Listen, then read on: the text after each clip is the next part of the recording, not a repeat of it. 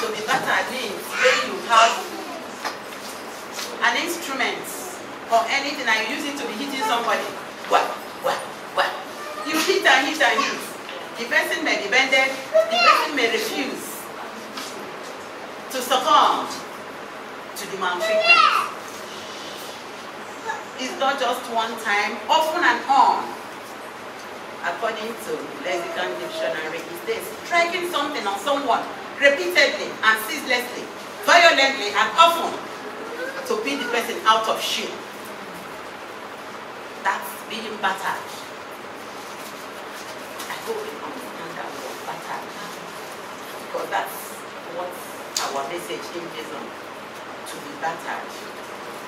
Children can be battered, women can be battered, and I expect that only non-living things are supposed to be battered.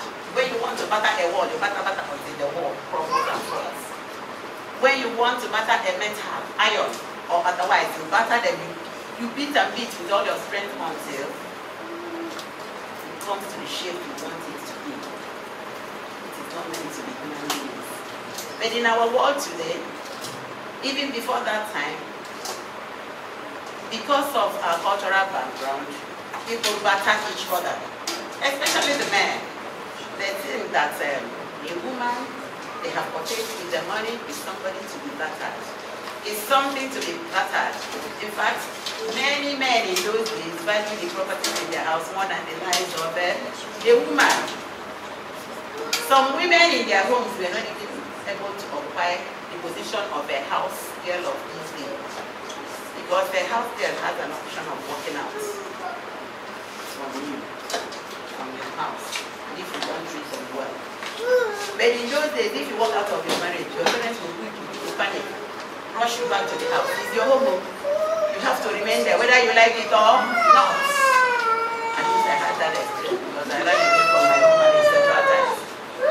Before, the best they could do for me then was to allow me to sit down talk all the things that I would talk. Whether they were listening or not, only God knew.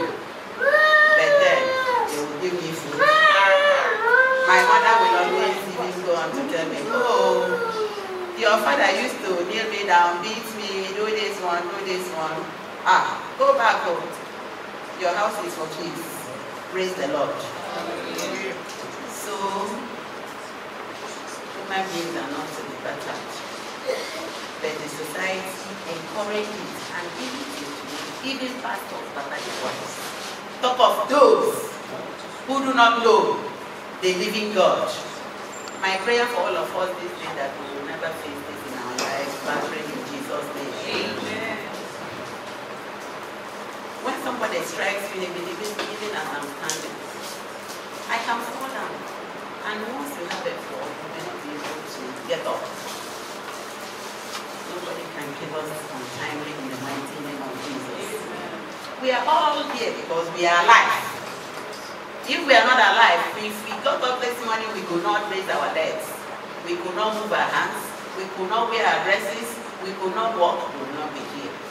I want you to wave to the Lord who has kept us from this life and brought us here. Father, we thank you. It's only the living who can talk. It's only the living who can worship you. The only the living who can tell the stories of the past.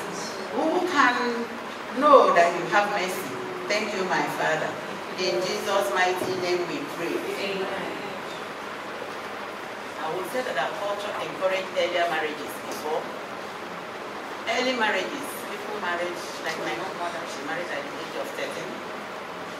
I got married at the age of 25. Even after my graduation and was service. You can imagine those who married at that 13, 14, 15 and had nothing to do. What was their plight? Even today, when you are educated, the men look at you and size you up. Who don't have the spirit of God and think of how to bring you down to size?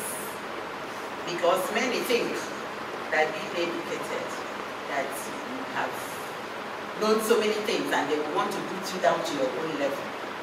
What is your level? The level of God says that we are all equal before God. And that is what I believe in. However, since we are alive and we are into talking about marriage, it is good that a woman should marry. Because at a certain point in your life, you need to move from your family onto your own abode, onto your own house. God instituted marriage. If you look at your Bible, there's no problem you cannot find an answer and solution from the Bible when you look at the Bible and you make the Bible your best partner. And so, marriage is an institution God loves. Up till today, the devil, because he knows that God loves the marriage, is using it to torment people. He's using it to bastardize the society. He's using it to bring conflict and chaos. Because mothers are very important in their homes. If you train your children well, the society will be a better place. And the devil does not want many women to be happy. That's why my prayer this morning is that women, even if they are not empowered from their home to empower themselves, walk, live, have a voice, and be able to defend themselves and bring up their family in Jesus' name. Like I have said, marriage is something which a man and a woman, an institution, where a woman and a man comes together to be one. Two have become one. You are together by default, by traditional marriage, and also by the word of God. If two have become one, if you're beating yourself, if you're beating your partner, it means you don't understand. It means that you're beating yourself. Because if you beat yourself, it's painful.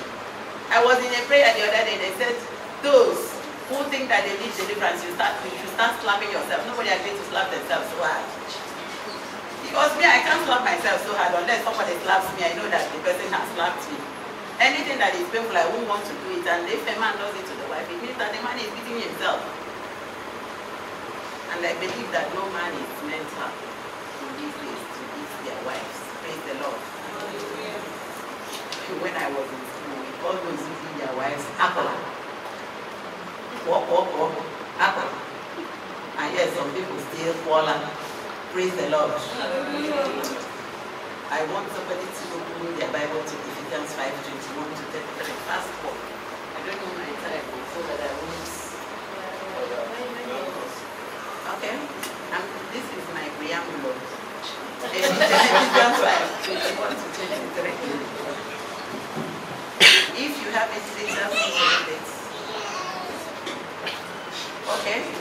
I just want to say something about Ephesians. It's where the Lord is speaking to men and women. If you're when you have to get married, instead of living a life of fornication, fornication or adultery, you bring a woman home. You don't bring every woman. You have to prayerfully see told you that whatever problem you think you have, the solution is always found in the Bible. That is a place where the Lord, 22 wives, submit yourself unto your own husband as unto the Lord. For the husband is the head of the wife, even as Christ is the head of the church, and he is the savior of the body. Therefore, as the church is subject unto Christ, so let the wives be there. Be to their own husbands. Everything. Husbands love your wives, even as Christ also loved the church and gave himself for it. That he might sanctify and cleanse it in the washing of water by the word. That he may present it to a glorious church. What I'm trying to bring out here is that nobody established marriage except God. Wives are admonished, submit. Husband, love your wife. Nobody can claim that they love Christ and that they are born again if they don't love their wife, if they beat their wife, if they are not responsible fathers. Praise the Lord.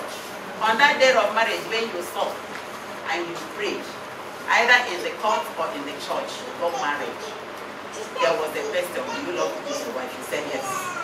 If you love her and you married her, and after all the prayers, you should be able to protect her, even as Christ protects the church.